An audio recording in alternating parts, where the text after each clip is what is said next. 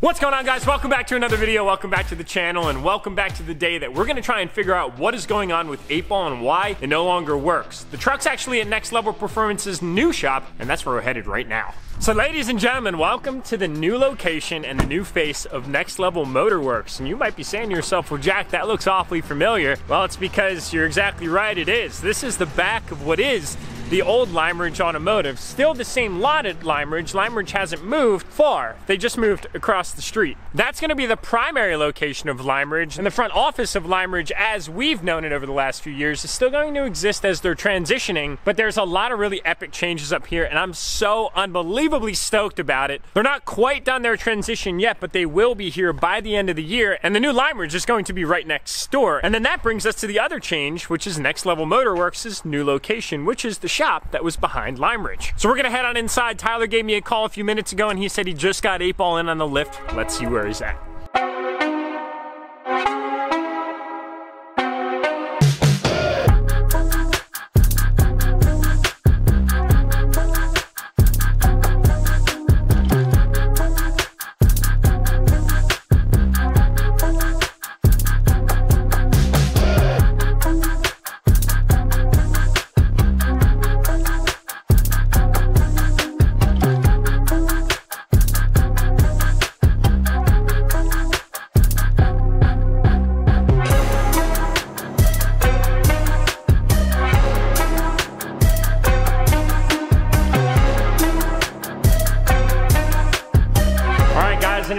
Few minutes, Tyler's already got the Firepunk trans out of 8Ball, and we're still at a point of unknown. We have absolutely no idea what's wrong with it. We did note that there's a little bit of an odd and peculiar smell coming from the transmission oil. That's likely because we've definitely used the utmost lubricity out of that fluid. This trans has seen a lot in the short time that it's been an 8Ball, so I'm not really surprised that anything happened, but we still don't know exactly what it could be. So we were faced with a crossroad at this point in time, meaning that we have the trans and the converter separated. We can either try to pull the trans apart and try and diagnose and then rebuild it ourselves, or we just send it back to those that have handled it last, which is over at Firepunk. And, and that's the direction that we chose to go. We're gonna put it back in the hands of its creator, if you will, and then they can go through it, make sure that they figure out exactly what's wrong with it, get it put back together in full and functioning form, and then we can get it back in the truck as soon as we possibly can. I'll tell you what, from an exterior perspective, this thing's looking really good. They've got that notorious gold Firepunk paint on it, and then we have the Firepunk extra deep pan as well. I am curious as to whether or not there's any metal shavings in there, but for all intents and time purposes,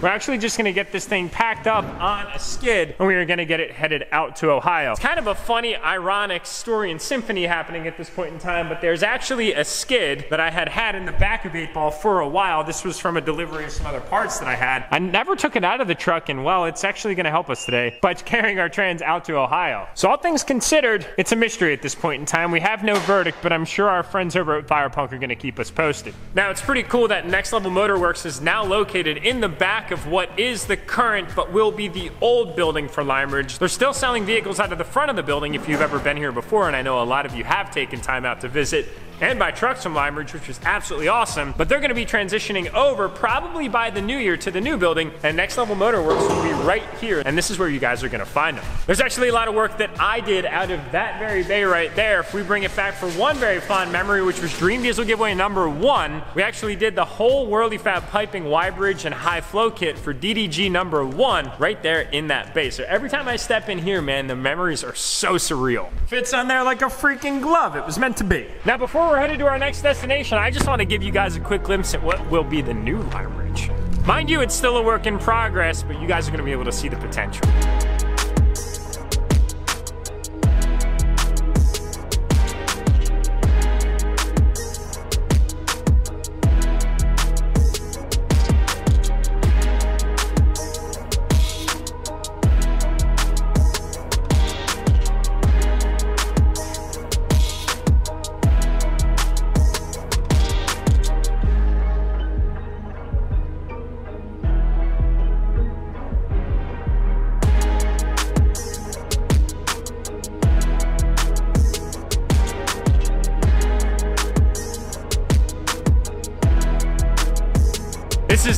Absolutely sick to see all the work that's gone into transforming what used to be a newspaper printing business, right? Next, the Lime Ridge Automotive's original location transform into Lime Ridge version 2. The transformation isn't 100% complete. They're probably about 90 to 95%. And it's really cool to see not only this transformation happening as they're evolving in their space, but also our transition that's happening with the new pole building project. A lot of us have been very busy and it's not just with truck builds. We've got Steve over here running the operation. He's now got three lifts to choose from with what it is that he's doing over here. We've got a few Dodges up on the lifts today. Kind of an ironic timing to say the least because we've got the 8-ball theme in this video, but I'm sure that the problems that these day Dodges are facing aren't as nearly as serious as my problems.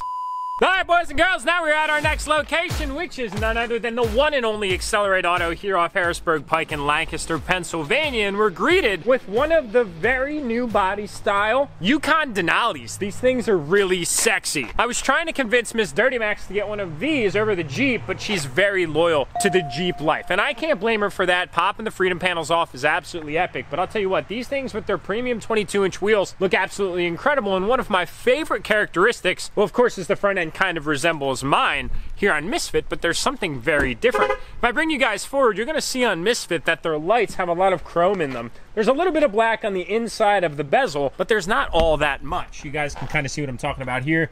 Amber on the side, DOT requirement, it is what it is. We can't get around it, and of course, unless we customize them, of course. But a little bit of black on the inside, but none other than a lot of chrome. If we come on over to the Denali, they actually completely changed up the inside of the headlight and the exterior surround. It's almost like they've been watching the Durtymax Jack YouTube channel. Rather than having the amber, that solid facing lens on the exterior, what they do is they make the amber as part of the light on the inside, which looks really cool. And then what's even cooler is they have somewhat paint matched surroundings. So it's almost like they're built headlights from the factory. GM, you're welcome. I used to work for you guys. I know you're watching my YouTube channel and you're taking all the hints and then you're incorporating them into your factory design, making us aftermarket guys seem like peasants, but it is what it is. YouTube's a free platform and I can't stop you from doing that, but I know you're doing it anyway. And then what they also did is they incorporated switchbacks from the factory. So you got your running light, just like Misfit has, but then when you switch your turn signal, this switches back to an amber. It's not a complete coincidence, it's 100% planned.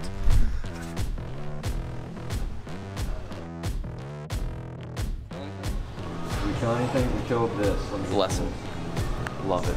We're here to pick up the final components of the Lone Star build. We've got our paint match Chevy badge surround, and then we actually have our second set of High Country custom painted one-off badges. You can see the background doesn't look all that nice, but don't worry about that. It's the actual plastic that matters. The reason why is because the other ones got damaged in transport, which I talk about a lot in the videos, moving parts from my shop to Brody's to Peach Bottom and everywhere else in between. And unfortunately, we had two casualties of the High Country badges that were painted the first time around. But fortunately, Sean is the man and worked these into his schedule. And then I gotta give a big shout out to my boy Gio, who actually introduced me to Sean way back in the day when Sean and I had first met, who actually brought them up here because he just got some paint matching done on his 2020 Denali. So Gio, thank you very much, my man man.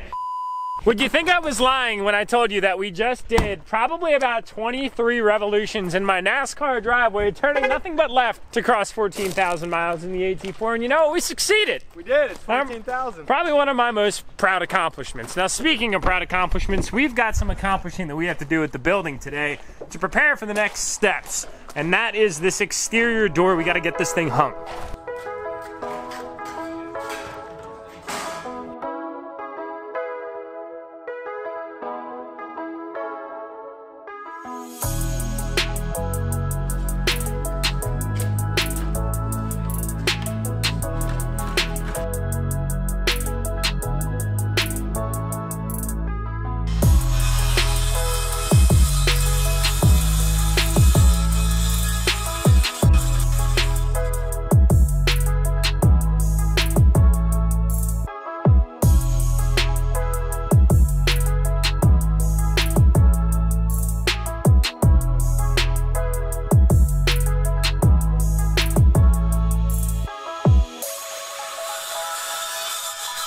you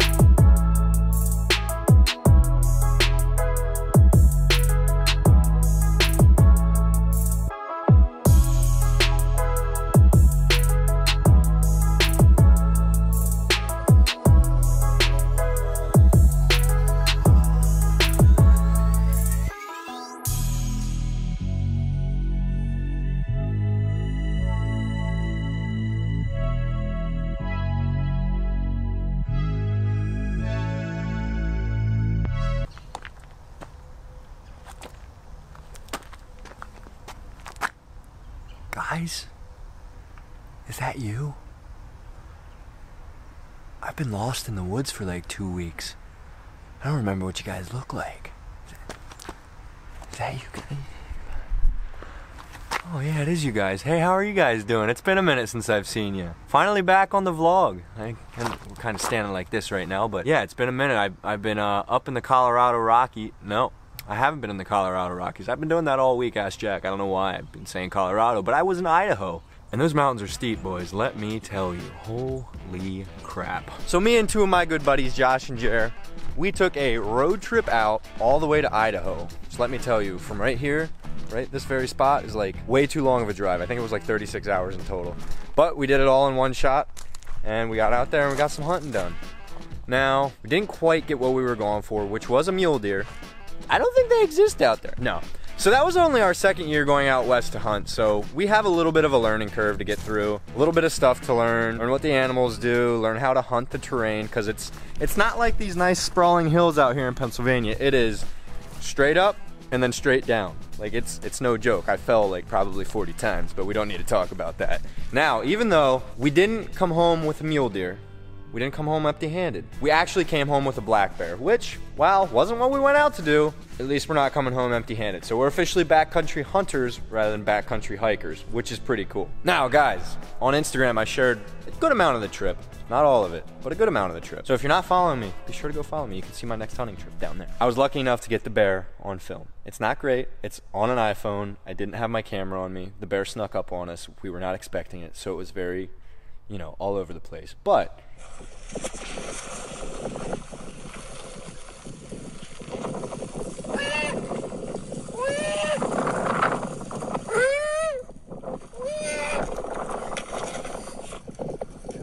Get him, get him, up there. So throughout the past two weeks, I've been super busy. I lost like 15 pounds when we were out there hiking, which is crazy because I was eating like a cow.